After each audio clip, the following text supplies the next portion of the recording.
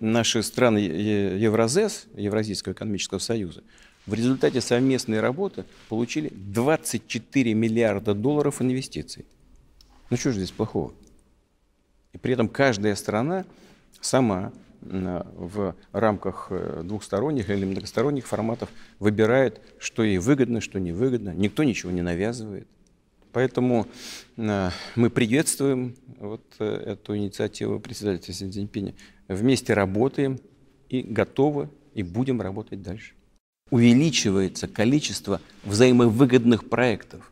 Они выгодны не только странам, которые получают какие-то кредиты в рам... Э, в, в, по этой инициативе, они выгодны и Китайской Народной Республике, потому что и Китай от реализации этих проектов тоже получает продукты, получает условия для лучшего и большего развития.